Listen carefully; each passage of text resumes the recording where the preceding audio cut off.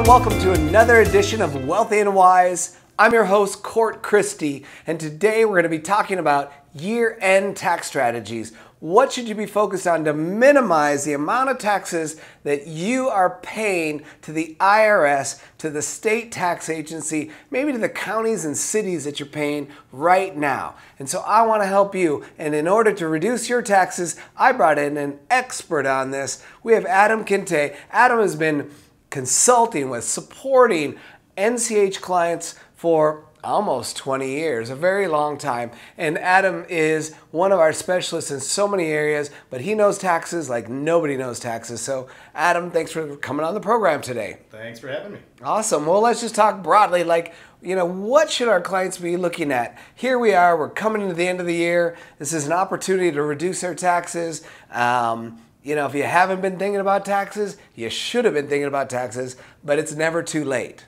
Absolutely. So the, the first thing that we have to look at is what have you been tracking? CPAs are only as good as the records you keep. So the goal is we want to make sure that we have, if you've not yet started it, do a simple monthly expense report, uh, documenting date, dollar amount, who you paid, a brief description of what it was for, and always keep your itemized receipts. So the big question we always get is, okay, well, what should I be tracking? It really depends on the size and scope of your business. There's a lot of variables, but my rule is I would rather you keep track of too much than not enough. It is the CPA's job to make sure we back out anything if we're being too aggressive.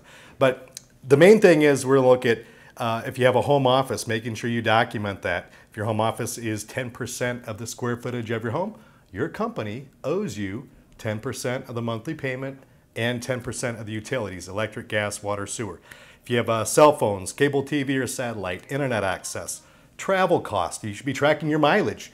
58 and a half cents a mile that we get this year, the company owes you 58 and a half cents a mile, or the company might need to just buy you a new car, in which the company is gonna pay the monthly payment, insurance, gas, maintenance, and registration. Uh, if you go out to eat by yourself, you cannot write that off. Have breakfast, lunch, or dinner with anybody else, Make sure you keep those receipts. Uh, as long as it's a business meeting, then you can write off 100% of your meals. I think this is the last year that we get to write off 100% of meals. Okay, so that was one thing that came into uh, play here in the last couple of years. So you're saying writing off all your meals is going away next year? It is going to 50%. 50%. Okay. So back to 50% where it originally was. So this is the time to write off any meals that you've got, any business, you know, dinners or whatever you have. This is the year for that. Absolutely. Now, one of the big changes this year is that this is the last year we get bonus depreciation on vehicles.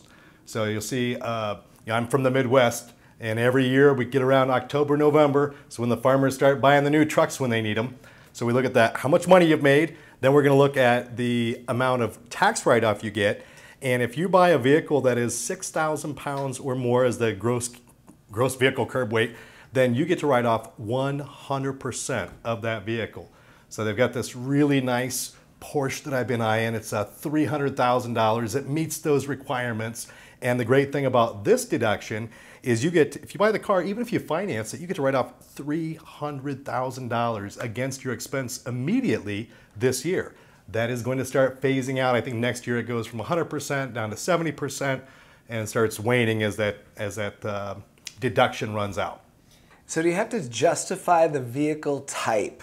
So for instance, what if somebody wanted, you know, um, some a very expensive car, like you're saying. Maybe it's a Porsche SUV, or I've seen these, you know, very expensive uh, Lamborghinis and you know crazy cars, and they're SUVs and they're very heavy.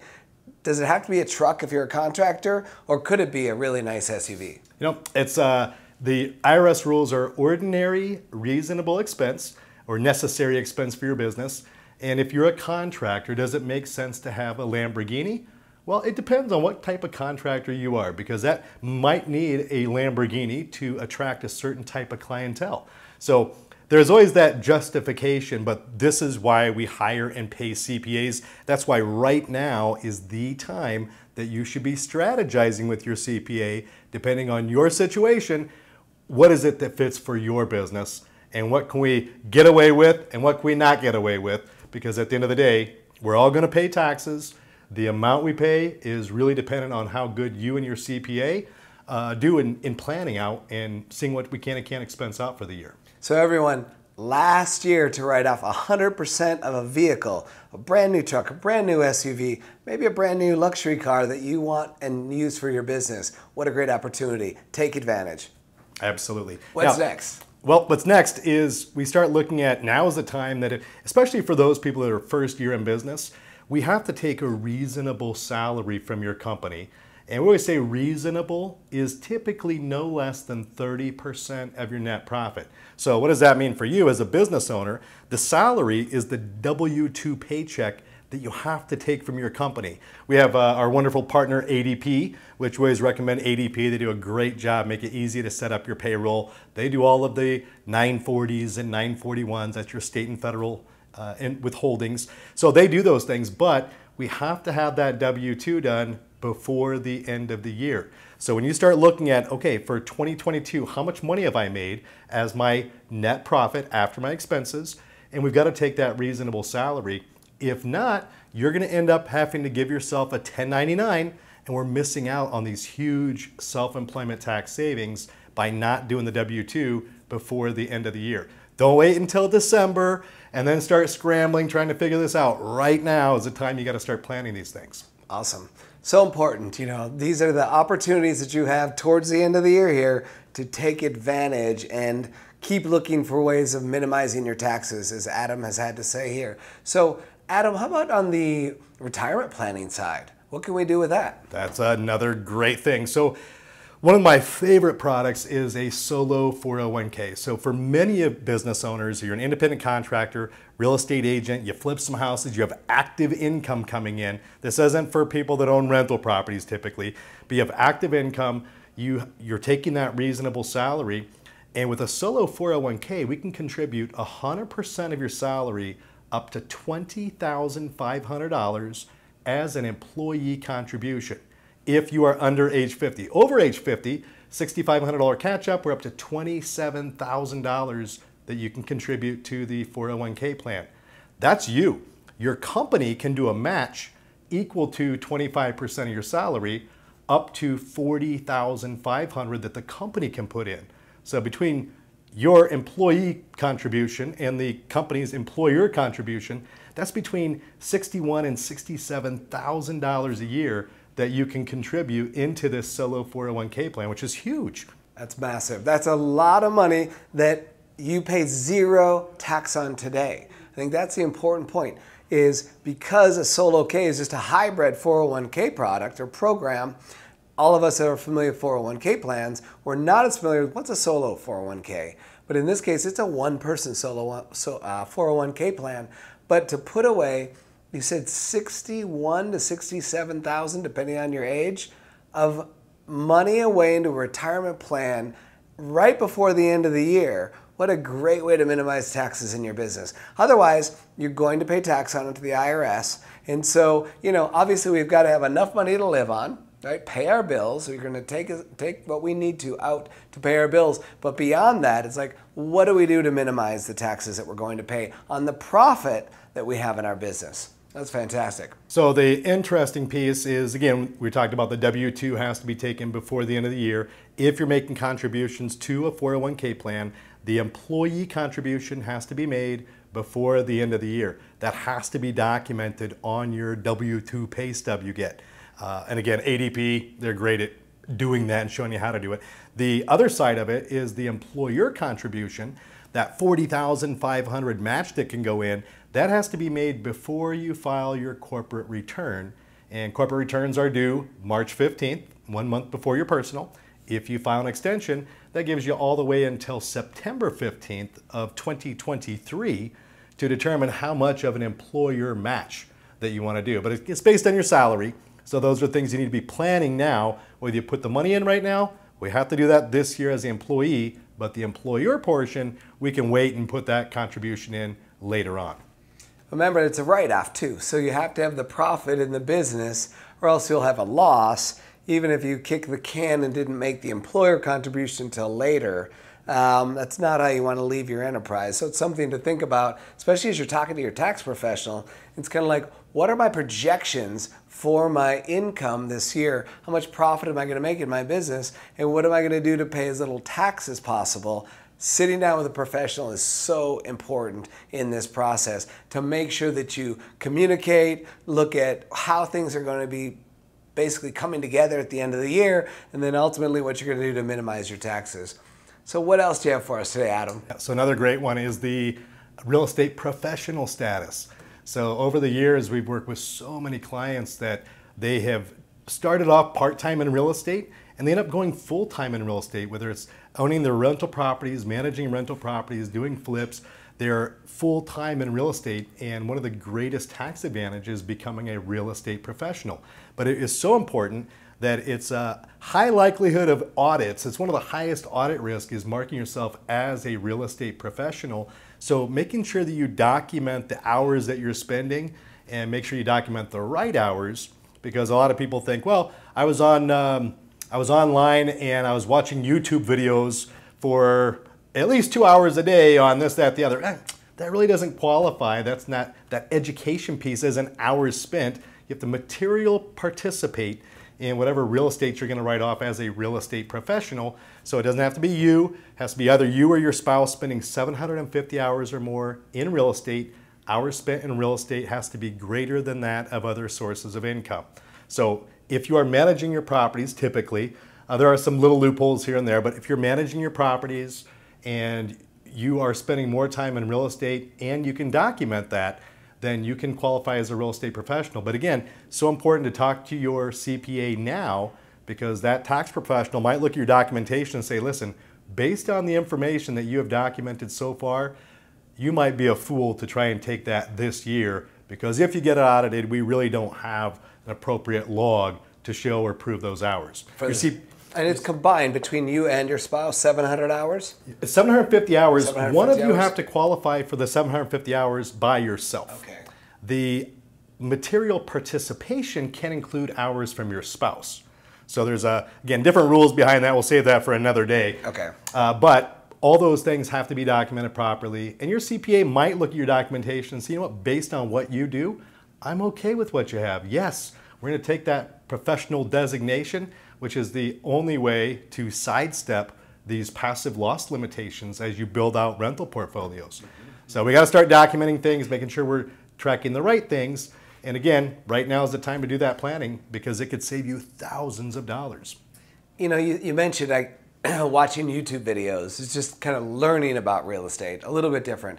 But what if I'm researching in my marketplace you know, going through commercial platforms like LoopNet or Zillow and you know looking at pricing and comparing uh, comps in different parts of that area you know is that all considered part of your work yeah so researching the actual properties in your market that you're looking at that counts okay. toward the hours that you're doing it's the um, the education pieces i went to a conference right. um, this past week and went to louisiana and i left Friday morning at 7 o'clock and I got home Sunday at 6.30 and I calculated over the course of that four day period, I ended up spending X number of hours. That does not count. The travel to and from that city, the hours that I spent in a conference, those don't count toward my, my hours that I'm going to meet with my 750 hour rule. Makes sense, so. But it's certainly something you want to look at and take advantage of because those passive losses can grow and grow and grow and then you got to figure out when am I going to be able to take these losses and offset them at some point in time. These are fantastic ideas. You know, another one that I love, and I know you have a whole bunch of ideas, but we have limited time today, um, is just taking advantage of travel with your business entity. And we always talk about it in terms of, um, you know, every year, if you want to live the corporate lifestyle, you could write off travel for your business. And it could be travel to your favorite location. It could be travel that is to Hawaii, let's say. But as long as there's business activity or you're having your annual meeting for your business, you can write it off. But what about Adam at the at the end of the year? What goes on? Well, we have a bunch of holidays, right? There's Thanksgiving, many people travel. There's Christmas, many people travel. There's Hanukkah, many people travel. Well, where are you going to be traveling in the next couple months?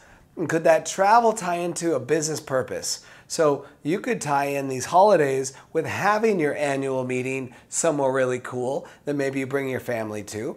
Or maybe you're in the real estate world, right? You could be certainly, you could be looking at real estate in different markets. Many of our clients have properties all around the United States. Well, as you go on your travels, you also could be looking at real estate in those areas. And as long as you've documented things properly, gone out and kicked some tires and looked at what was happening, maybe met with a real estate professional in that area, took the business cards with you, made notations of this, you're able to write off a large percentage of that travel. And so these are all things you want to talk to a professional about, but these are great ways of minimizing the amount of taxes because you're going to pay for this travel anyways. Why not have the business pay for your travel? Way better, more cost effective because the money that you use, every dollar in our wallet is after tax money. But every dollar in our businesses is pre tax money. So just something for you to be thinking about. I'd rather use pre tax money than after tax money all day long. Absolutely. Any last minute ideas? I've got one last thing as a reminder for everybody is that make sure you get the W 9s. So, anybody that you have paid from your business $600 or more, you must make sure you get a W 9 because by January 31st, we must send out the 1099s. And in order to 1099 someone, that's letting the IRS know who you paid and how much, we have to make sure we have the W 9 to produce that 1099. Your CPA is going to ask for it. Your tax professional is to say, okay, where is this information for Joe Smith, the plumber, or whoever you might have hired that was $600 or more? So don't forget those W 9s. Get those now because uh, sure enough, holidays start happening. Tracking down your contractor or person you paid could become challenging, and you're going to need that uh, to complete your taxes accurately and follow the right rules. And yes, there's work to do when it comes to taxes and planning and paperwork and documentation, but trust me, it's worth it. Taxes are the single largest cash outlay that we all pay each and every year. When you start adding up all the taxes, federal, state, county, city, all the way down, we pay a ton of taxes. And that doesn't include sales tax and gas tax and all the other things that we pay in addition to that. So a little bit of planning can go a long way to minimizing your taxes. Adam, thanks for sharing such uh, great ideas for all of us for this year-end tax planning episode. I appreciate you being on the program today. And if somebody has questions, Adam, about taxes and they want to get a professional, can they call you and get set up? please call NCH, talk to an expert. Let's make sure you're, you're getting everything planned out now and get you set up with the right professionals. So one of the things many people don't realize is NCH has an incredible tax team. These folks understand small business owners, they understand real estate investors, they understand our clients really well. And the difference between working with one of our professionals versus someone that maybe you've used in the past or somebody on some in some strip mall somewhere is they don't understand business owners really well. Our tax professionals know business owners inside and out, and they're going to prompt you. They're going to ask you a lot of questions, and they're going to find tax strategies and tax minimization things that you can be doing right now just in the course of asking you and talking to you about what your business is and how do you operate your business. They have great advice and great strategies. So use a business tax professional, not just a tax professional when it comes to your business needs. All right. Adam, thanks so much for being on today. And thank you, each and every one of you, for tuning in to another episode of Wealthy and Wise. I'm your host, Cort Christie. Have a great day.